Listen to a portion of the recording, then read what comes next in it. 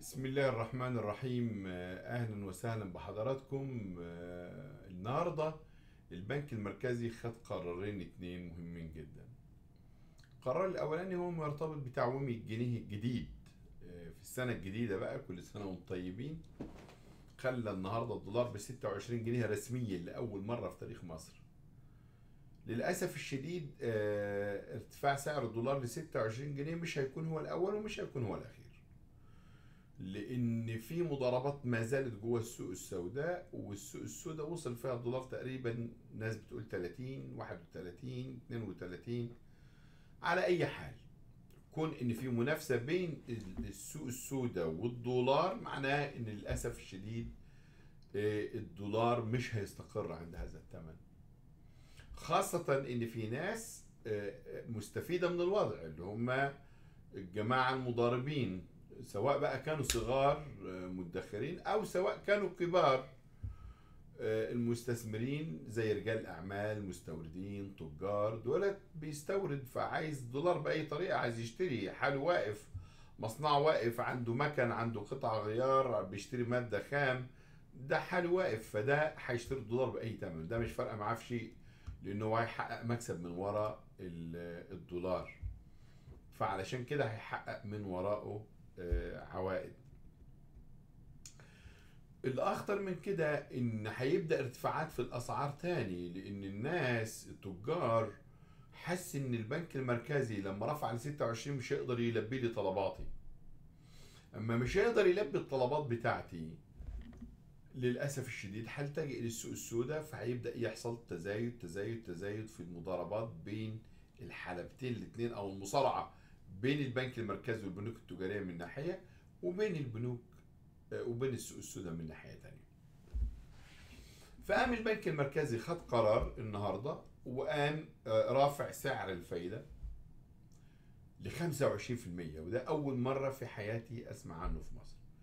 يعني أنا أذكر في الثمانينات كان سعر الفايدة 24% النهارده 25% سعر الفايدة في في ال البنك المركزي حاطه 17 وربع. اللي هي فايدة الإقراض. فأنا لو رايح آخد قرض من بنك المفروض البنك يديني ب 18 19% وأنا طبعا ككل عادة لأني لازم أقول كل مرة أنا قلت لكم إن أنا مقتنع إن الفوائد من الربا.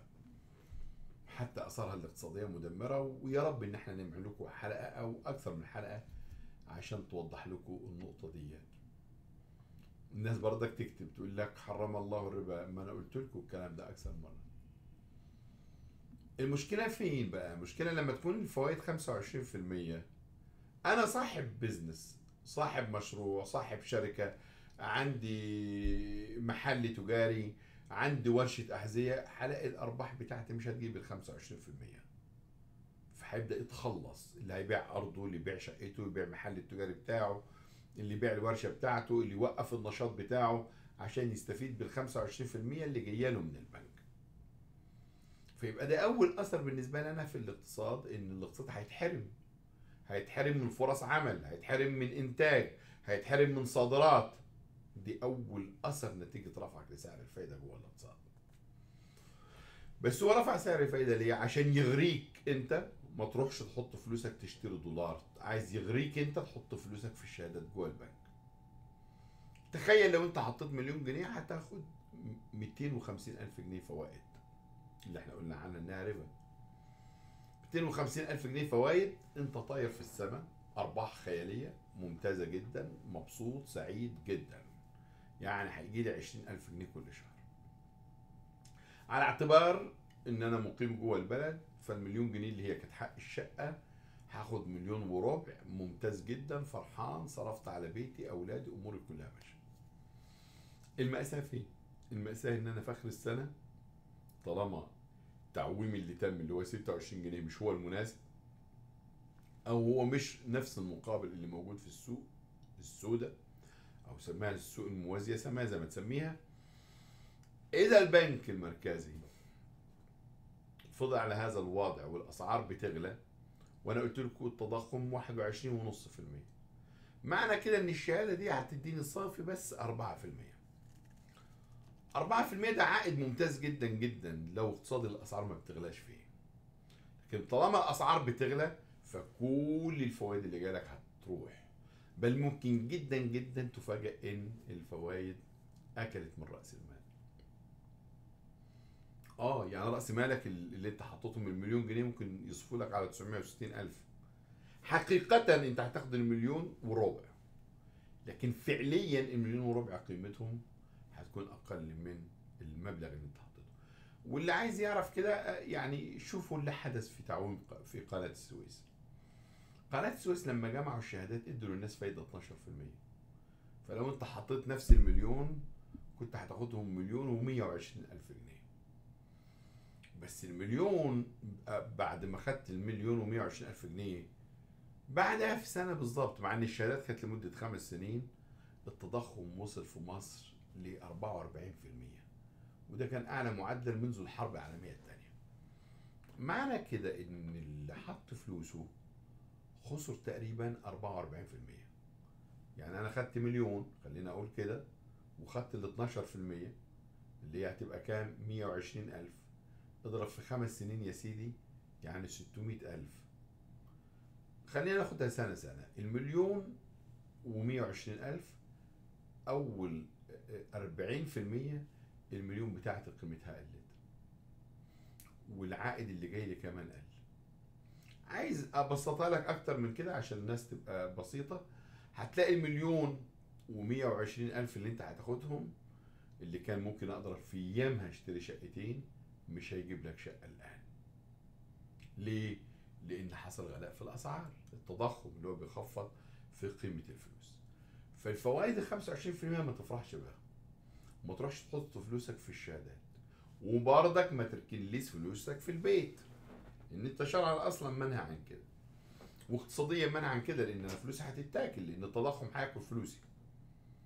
ففلوسك آه، ما تحطهاش في آه، في فوائد في البنك لأن هتخسر فيها عشان التضخم بيأكل الفلوس وهم لما رفعوا ال 25% رفعوها عشان تكون أكتر من سعر الفايدة اللي في البنوك.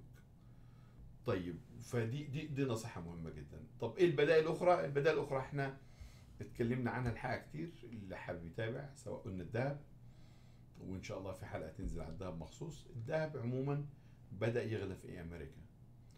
والذهب العقود الآجلة ارتفعت في أمريكا. معناها إن الذهب خلال الفترة المقبلة سيزيد.